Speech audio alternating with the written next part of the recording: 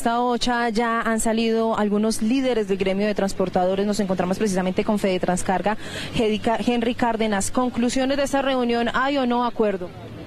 No hay acuerdo porque las bases no aceptaron la propuesta que hizo la ministra de Transporte. La propuesta es mantener el alza que se tuvo el día 31 de agosto y suspender las siguientes alzas hasta no tener unas mesas de trabajo con las bases camioneras de Colombia. ¿Pero eso quiere decir que se va a mantener el paro indefinidamente? Las bases camioneras aquí arriba han decidido seguir en el paro. ¿Esas son las bases camioneras, pero ¿y ustedes como gremio?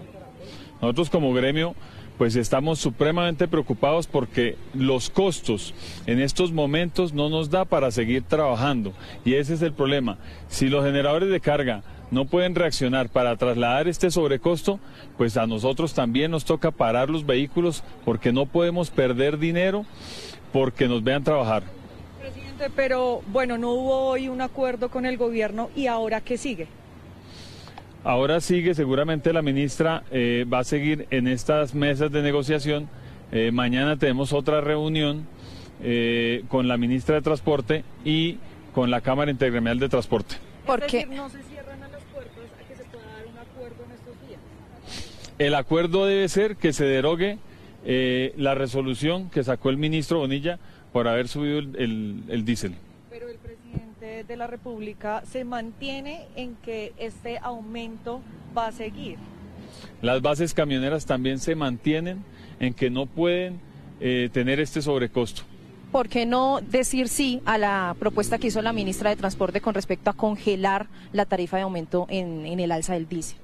Porque tendrían que asumir todos los transportadores, todos los empresarios, tendríamos que asumir 1.904 pesos que no están dentro de nuestros costos. Es aumentar el 20% de la canasta de los gastos y de la CPM de nosotros. Es decir, que hasta que no se bajen los 2.000 continúa el paro. Hasta que no se bajen los 2.000 y se activen las mesas con las bases camioneras, eh, ellos están de acuerdo que levantarían el paro, sí, solo sí, vuelva al precio anterior en la CPM en Colombia. Pero bueno, listo, ustedes mantienen estos bloqueos en las vías, pero ¿cómo garantizarle a las personas que van a poder movilizarse? Es decir, las ambulancias, aquellos que necesitan pasar, ejemplo, las rutas escolares, los niños. Ellos también plantearon en el Ministerio de Transporte eh, que se, se tuviera en cuenta esas eh, rutas comunitarias, esas rutas, esas ayudas que se necesitan para este tipo de, transporte, medicamentos, todo esto. Entonces, eh, seguramente van a, las bases a ceder en este aspecto. ¿Y la, la reunión que programaron para mañana, a qué hora y con quiénes va a ser? Mañana tenemos una reunión a las 9 de la mañana, la Cámara Intergremial de Transporte, pero eh, vamos a hablar del observatorio de carga y vamos a hablar de las falencias y debilidades que tiene el CICETAC, porque es muy difícil que varios dirigentes gremiales digan que solo es subir el ACPM al CICETAC y se solucionó el problema. Resulta que ese no es el esa es una falencia que tiene el CICETAC, que no tiene todas las tipologías que hay de transporte de carga en Colombia. Por eso no es viable esa propuesta. Vicepresidente Cuervo, usted ayer me decía que en caso de que las situaciones no se dieran y ustedes no estuvieran de acuerdo con lo que iba a pasar en la reunión de hoy, como de Transcarga y también los de los otros gremios podrían unirse a la manifestación. ¿Se está presentando ese escenario o todavía se puede esperar? De hecho, el escenario se está presentando. Algunas empresas afiliadas a Fede Trascarga, de hecho, ya están colaborando con quienes están protestando. Y es que realmente la protesta tiene que ver con que el aumento que se da es del 20% del precio del galón del diésel.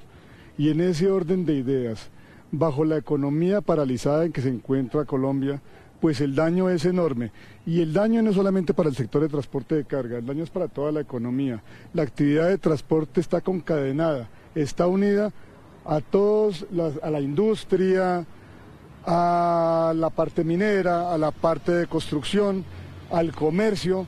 Entonces definitivamente aquí lo que están haciendo los camioneros hoy en Colombia es defendiendo la economía de la caja de las empresas y el bolsillo de todos los colombianos. ¿Se van a unir con eh, los motociclistas y con los taxistas? El día de mañana los motociclistas se van a unir a la protesta y hoy los taxistas manifestaron algo que es muy importante, porque desde el gobierno nacional se ha indicado que se va a hacer un precio diferencial como se hizo con los taxistas a quienes se les subió el combustible en un 67%. Y es claro que ya los taxistas dijeron que es un engaño y que es mentira que el gobierno les haya dado ningún beneficio. Y por supuesto se unen a los transportadores indicándonos a los de carga que no nos dejemos engañar como fueron ellos engañados.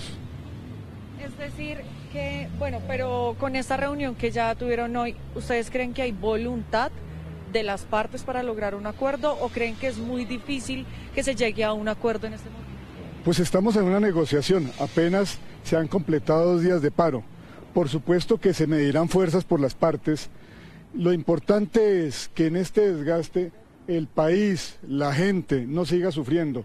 Yo creo que el mensaje es para el presidente de la República, quien es quien determina si se deroga o no se deroga la resolución a la cual se dio el aumento. Señor presidente, no permita que el pueblo siga sufriendo. Si usted dice que esta medida la toma en beneficio de los más pobres, pues piense en ellos y piense en los 50 millones de colombianos que están pendientes de que el presidente con responsabilidad tome las mejores decisiones para el beneficio del país.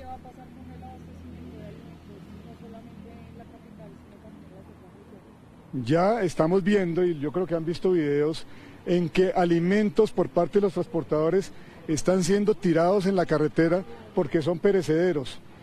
Cuando pasen varios días más y ese desabastecimiento se presente, pues puntualmente los alimentos van a empezar a subir de precio y vamos a sufrir no solamente ya en el tema de movilidad, sino en el tema de la canasta familiar directamente, porque llevar la comida a las casas, a las mesas de todos los hogares colombianos va a resultar mucho